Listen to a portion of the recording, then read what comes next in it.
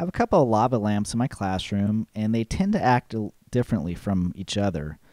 So I shot one picture for every 30 seconds for a period of time, and the lava lamps seem to behave differently from each other. The one on the right seems to be more active than the one on the left.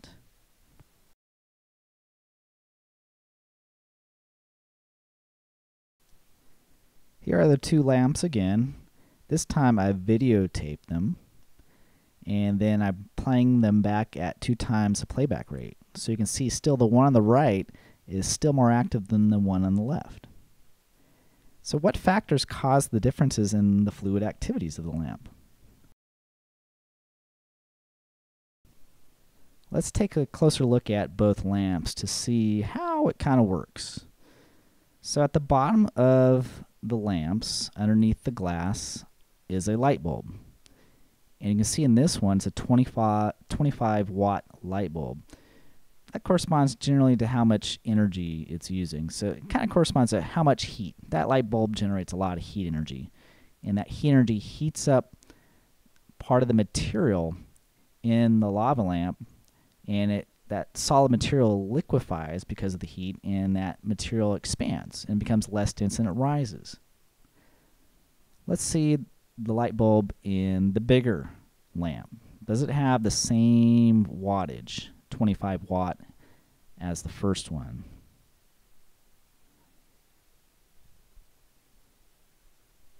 Okay, so we look up close at this and we can see it's not the same light bulb it has a 40 watt light bulb. So there's more heat energy being produced by this light bulb than the other one.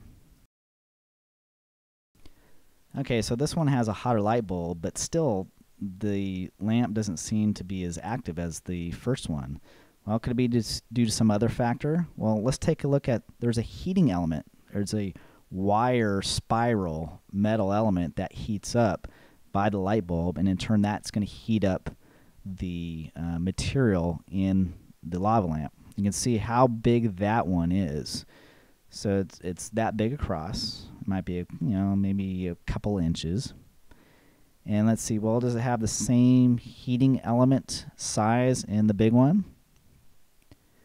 And we can see in this one, if we take a look at it up close, and it does seem to have a bigger one. It has a higher diameter than the first one.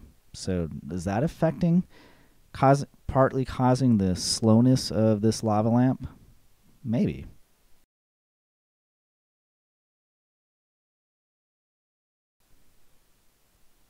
So we looked at the wattage of the light bulb, they're different. The size of the heating element, they're different. Um, one of the other factors that might play a role in this is the mass, the amount of material in each of them. The one on the left has a greater mass of material than the one on the right. So maybe it that mass requires more heat energy to become just as active as the one on the right. So maybe the heat generated by the light bulb and the heating element is just not enough heat energy to make that red liquid be as active as the yellow liquid in the right one. So maybe that's what's causing the it, that that lava lamp is just not very active at all.